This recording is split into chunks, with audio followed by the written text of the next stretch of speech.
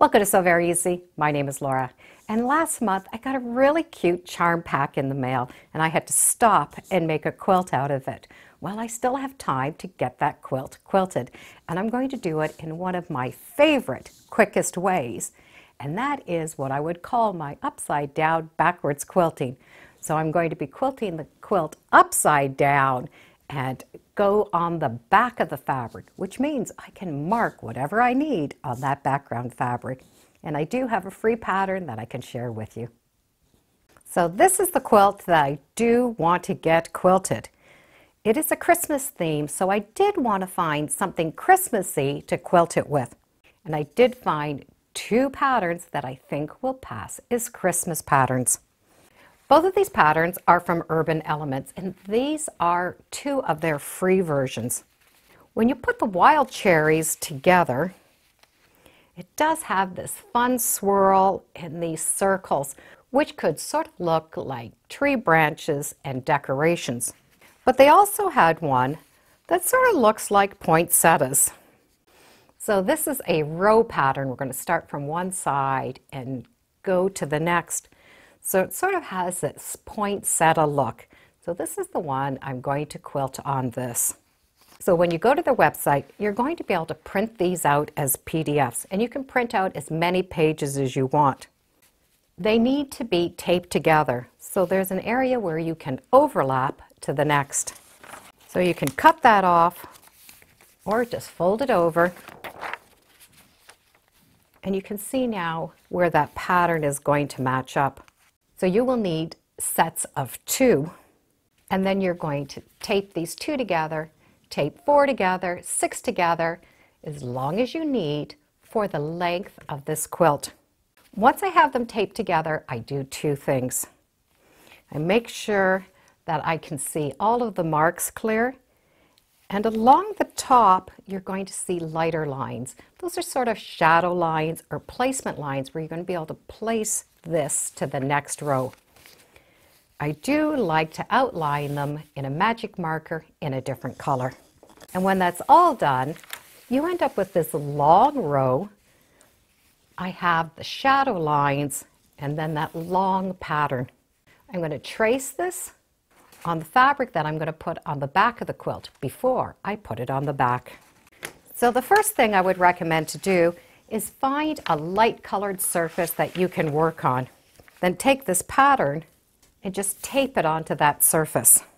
Once this has been taped onto my surface, I'm going to put the quilt back on top of this paper piece.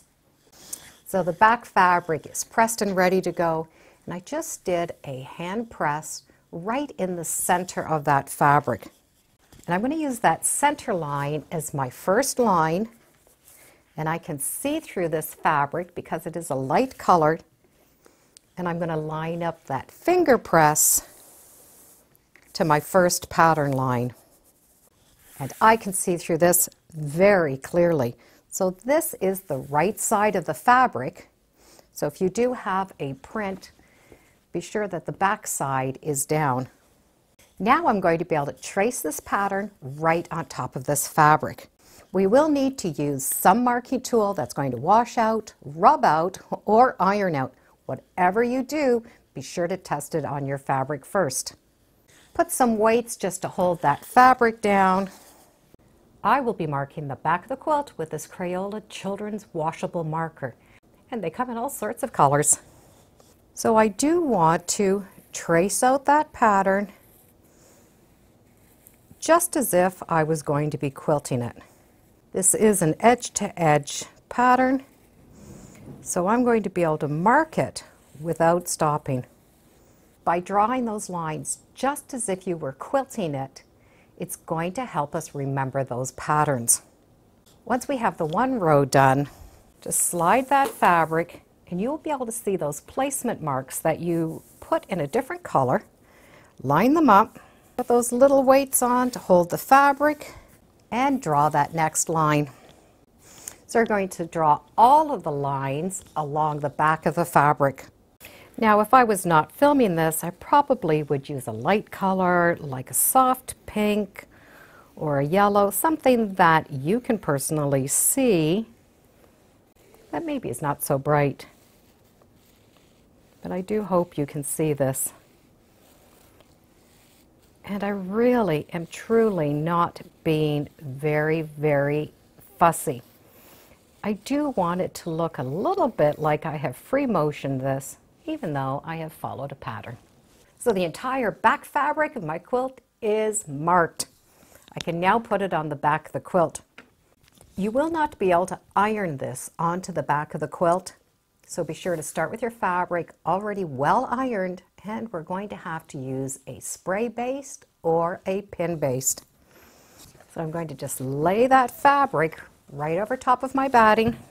And because I did have that center fold, I'm still going to use that fold to line up the center of the quilt because I can still see through this batting. No matter which way we stick this batting on, it's very important for us to pin the edges of the front of the quilt. We will be quilting this, so we're looking at the back of the fabric. So it's very easy for us to take this front and roll it over. So we do need to put some pins so that we don't have that happen. And also we'll know where we're ending. So I've just pinned right along this edge, so I'm going to be able to see them along this side. We cannot do anything here because this is considered now the back. So if we're going to do any additional pinning, we need to pin it from the back side. Now that I have this all pinned, I'm going to be able to bring it to my machine. We can do this on a domestic machine, but today I will be working on my sit-down Bernina Q20. Just as I drew the pattern, I'm going to be quilting the pattern. First thing, I will remove the pin from that area that I'm going to start with. I'm going to follow that design and I'm going to do the entire row until I get to the other side. When I get to the other side, I will be sure to remove that pin. I will always, always, always check and make sure that that back fabric is flat. Remove a couple of pins to get started and then stitch.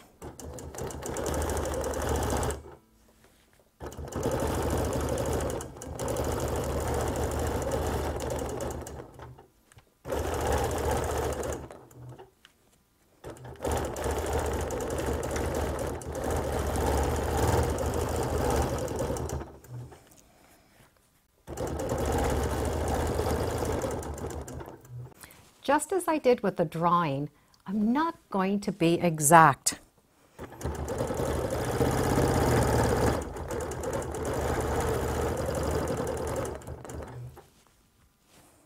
Now if you want, you can go real slow and follow the lines exactly.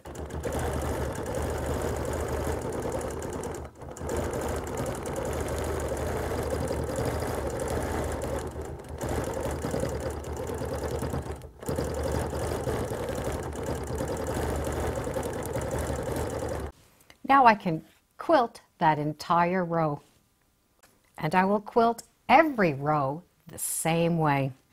When you get to the end, be sure to remember to take out that pin and check that back fabric. And there's my first row of stitching. From the front, it looks beautiful, and I'm not worried about the back because that's going to wash out. And just for fun, I did use a nice bright green thread. The quilt is now all quilted and you can see there probably isn't a line that I hit. Our curves are all different. I'd rather stitch very smoothly than really concentrate on those lines. That smoothness on the front will really show and the back gets washed off. So those leaves are really a smooth shape. Because I did stitch right off to the edge of the quilt, I will do a row of stitching right along this edge at about an eighth of an inch. This will all be trimmed off, but that stitching is going to help the fabric stay flat and will help anchor those threads so that they don't unravel. Once this is trimmed, I can put the binding on and wash off that back. So to wash out the Crayola markers, I have found that I've rinsed this with a lot of cold water and then I've put it in a wash under the most delicate cycle just cold water. No soap, no fabric softener. And then just lay it out to dry. And so far, I've never had a problem with them. But always check it on a scrap of fabric for that fabric that you're using and the technique that you're using. But once it's all washed out, that back looks just as nice as the front. This was a quick and easy quilt to get done just in time for the holidays. I will put three links in the description. One on how I did make that quilt top. Another video where I do talk about marking the quilt upside down and quilting it. And one for that free pattern that looks like a poinsettia. I do hope those links help you get some quilting done in time for the holidays. And thank you for joining me today on Sew Very Easy. Feel free to subscribe and come on back.